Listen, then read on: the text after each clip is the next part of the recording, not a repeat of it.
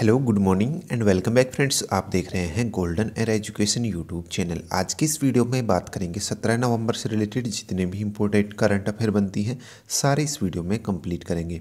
साथ ही काफ़ी सारे एक्स्ट्रा फैक्ट भी यहाँ पे डिस्कस करेंगे। सो पूरे लेसन को ध्यान से और लास्ट तक आप ज़रूर देखिएगा। इसकी पीडीएफ आप डाउनलोड कर लीजिएगा नीचे वीडियो के डिस्क्रिप्शन में से। साथ ही जो अपना एंड्रॉयड एप्लीकेशन है, एक एग्ज़ाम ट्रॉपर इसका भी लिंक दिया गया है नीचे डिस्क्रिप्शन में। तो इसे भी आप इंस्टॉल कर लीजिएगा। या फिर प्ले स्टोर से डायरेक्ट आप इंस्टॉल कर सकते हैं। तो देखिए, सबसे पहले हम बात करेंगे जो लास्ट वीडियो की क्विज थी आपके लिए। क्वेश्चन था कि बीते दिनों तंबाकू नियंत्रण के क्षेत्र में योगदान के लिए विश्व स्वास्थ्य संगठन ने किस राज्य की स्वास्थ्य मंत्रालय को पुरस्कृत किया था? तो आपका सही आंसर था राजस्थान इसका। ठीक है? चलिए, अब बात करते हैं, देखिए, आज की करंट अफेयर की। तो पहला क्वेश्चन है आज का केंद्रीय वाणिज्य एवं उद्योग मंत्रालय ने किस उद्योग को बढ़ावा देने के लिए एक विशेष विकास परिषद की स्थापना की है?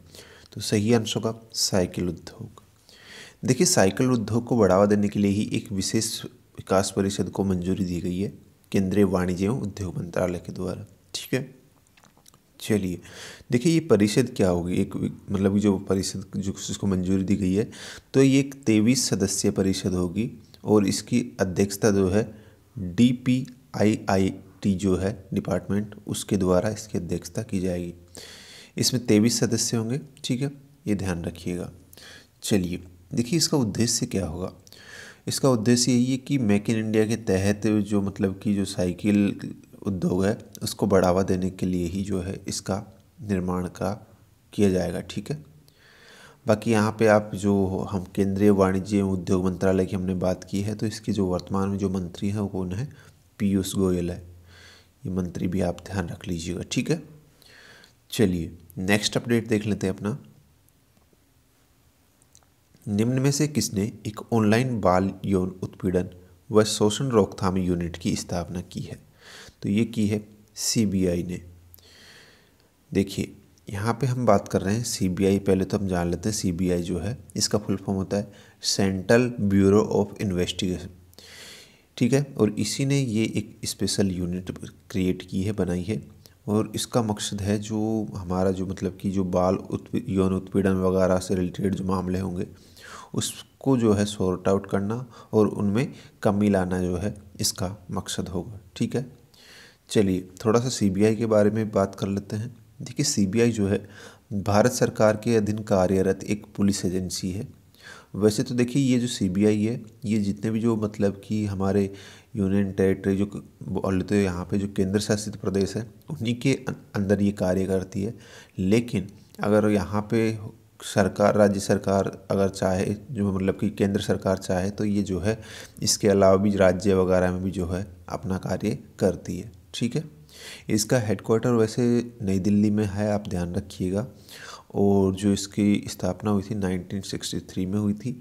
और वर्तमान में जो मतलब कि इसके जो चेयरमैन है, वो है ऋषि शुक्ला। ऋषि शुक्ला जो है, इसके वर्तमान में चेयरमैन है, ठीक है? नेक्स्ट अपडेट अपना, देखिए। कहाँ? यहाँ पे देखिए। किस दिन को राष्ट्रीय प्रेस दिवस के रूप में मनाया गया है? तो आपका सही अंश होगा सोलह नवंबर को। सोलह नवंबर 1966 को ये राष्ट्रीय प्रेस दिवस के रूप में मनाया गया था। और देखिए जो भारत, क्यों मनाया जाता है? ये मनाया गया था जो भारत प्रेस परिषद है। उसी ने 16 नवंबर 1966 को अपना जो कार्य कार्य है, ऑफ़िस कार्य, वो शुरू किया था, ठीक है? तो इसीलिए ये मनाया जाता है। यहाँ पे मैंने आपको बताया कि जो भारत प्रेस परिषद है, उसकी कार्य शुरुआत के उपलक्ष्य में मनाया जाता है। तो मैं भारत प्रेस परिषद की बात करूँ तो देखिए, इसके अंदर जो है, एक अध्यक्ष सहित 28 सदस्य होते हैं और इसका जो अध्यक्ष होता है, वो होता है, जो सुप्रीम कोर्ट का रिटायर्ड जज होता है, न्यायाधीश होता है, वो इसका जो है अध्यक्ष बनाया जाता है उसको, ठीक है? नेक्स्ट अपडेट अपना देखिए। निम्न में से किस शहर में आदि महोत्सव 2019 का आयोजन केंद्रीय जनजातीय मामले मंत्रालय द्वारा किया जा रहा है। तो ये किया जा रहा है जो नई दिल्ली है, वहीं पे, ठीक है? आदि महोत्सव हर बार आयोजित करवाया जाता है। एक सालाना महोत्सव है और इस बार भी ये जो है 16 से और 30 नवंबर के बीच में आयोजित करवाया जा रहा है, ठीक है? चलिए, आपका बता दें कि इसका जो उद्घाटन है। रिसेंटली जो गृह मंत्री अमित शाह है उनके द्वारा इसका उद्घाटन किया गया है। ठीक है? अमित शाह के द्वारा। इसका उद्देश्य यही है कि जो जनजातीय संस्कृति है, साथ ही जो शिल्पकला है, भोजन है जनजातीय, ठीक है? उनका प्रदर्शन करना ही इसका मकसद है, ठीक है? फिर देखिए नेक्स्ट क्वेश्चन है अपना। निम्न में से किसने निष्ठा का नामक विश्व का सबसे बड़ा अध्यापक शिक्षा प्रशिक्षण कार्यक्रम लॉन्च किया है? तो ये क्या है जम्मू कश्मीर में। रिसेंटली जम्मू कश्मीर ने भी जो है ये निष्ठा कार्यक्रम लॉन्च किया है, जो कि विश्व का सबसे बड़ा अध्यापक शिक्षा प्रशिक्षण कार्यक्रम है। ठीक है?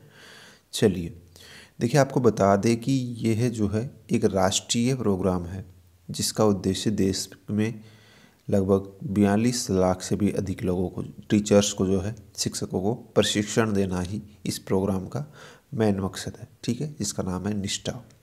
इसका शॉर्ट फॉर्म है निष्ठा ठीक है? ध्यान रखिएगा। चलिए अगला अपडेट देख लेते हैं अपना। निम्न में से कहाँ पर अंतर्राष्ट्रीय योग सम्मेलन का आयोजन किया गया जा, किया जा रहा है? तो ये किया जा रहा है आपका मैसूर कर्नाटक में। देखिए यहाँ पे जो आयुष राज्य मंत्री है जिनका नाम है श्रीपद नाइफ श्रीपद नाइफ जो है इन्हीं के द्वारा इसको रिसेंटली इसका उद्घाटन किया है, अंतर्राष्ट्रीय योग सम्मेलन का मैसूर के अंदर, ठीक है? और इस बार जो इसका थीम है, यानी कि विषय था, वो था yoga for heart care yoga for heart care जो है, इसका थीम है इस बार का। इसके अंदर 700 से ज़्यादा जो राष्ट्रीय और अंतर्राष्ट्रीय प्रतिनिधि हैं, वो इसमें भाग ले रहे हैं। और ये पाँचवा एडिशन है इसका, ठीक है, इस बार? पाँचवा संस्करण है, ठीक है? ये चीज़ आप ध्यान रखिएगा, अंतर्राष्ट्रीय योग सम्मेलन। वैसे अंतर्राष्ट्रीय योग दिवस अगर आपसे पूछा जाता है तो वो कब मनाया जाता है? वो इक्कीस जून को मनाया जाता है, ठीक है? ये भी आप ध्यान रख सकते हैं। फिर देखिए नेक्स्ट क्वेश्चन है अपना। सर रक्षा मंत्री राजनाथ सिंह ने दिबांग घाटी में सिसेरी पुल नदी पुल का उद्घाटन किया है, जो स्थित है। तो ये कहाँ स्थित है, सिसेरी नदी पुल? ये है अरुणाचल प्रदेश में। देखिए, अरुणाचल प्रदेश में जो है, ये 200 मीटर लंबा पुल जो है, इसको निर्माण को हाल ही में जो है, उद्घाटन किया गया है, जो रक्षा मंत्री राजनाथ सिंह इनके द्वारा। और ये जो है, ये पुल जो अरुणाचल प्रदेश में जो दिबांग घाटी है और जो सियांग है, इन दोनों को जो है, कनेक्टिविटी प्रदान करेगा। बाकी यहाँ पे अरुणाचल की बात कर रहे हैं तो ईटानगर यहाँ की कैपिटल है। ठीक है? और जो करंट यहाँ की जो मतलब कि सीएम है, वो है पेमा खांडू। पेमा खांडू यहाँ के मुख्यमंत्री है। ठीक है? नेक्स्ट अपडेट अपना देखिए। निम्न में से किसे नीदरलैंड में आयोजित टैब एक्सपो 2019 कार्यक्रम में गोल्डन लीफ अवार्ड दिया गया है? तो ये दिया गया है तंबाकू बोर्ड ऑफ़ इंडिया को। इम्पोर्टेंट क्वेश्चन है, देखिए। जो यहाँ पे आपको बता दें कि जो तंबाकू बोर्ड ऑफ़ इंडिया है, इसी की जो मतलब कि कार्यकारी निदेशक है, के सुनीता, वर्तमान में इसकी कार्यकारी निदेशक कौन है? के सुनीता, ठीक है? इन्हीं को ये अवार्ड जो है दिया गया है। और दूसरी बार जो है, तंबाकू बोर्ड ऑफ़ इंडिया ने ये अवार्ड प्राप्त किया है। इससे पहले 2014 में भी जो है, यही अवार्ड इसको दिया गया था, तंबाकू बोर्ड ऑफ़ इंडिया को, ठीक है? तो ये चीज़ ध्यान रखिएगा। नीदरलैंड में इसको दिया गया है।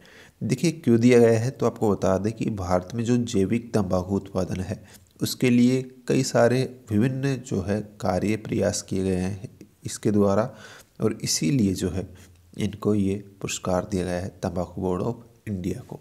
ठीक है? चलिए, नेक्स्ट अपडेट अपना देखिए। संयुक्त राष्ट्र बाल कोष, यानी कि यूनिसेफ द्वारा जारी रिपोर्ट के अनुसार भारत किस बीमारी के कारण होने वाली मौतों में दूसरे स्थान पर है? तो आपका आंसर हुआ निमोनिया। देखिए, निमोनिया से होने वाली मौतों में भारत जो है दूसरे स्थान पर यानी कि कह सकते हो कि सबसे ज़्यादा जो निमोनिया की मौतें होती है, वो सबसे ज़्यादा होती है उसके अंदर कहाँ पे?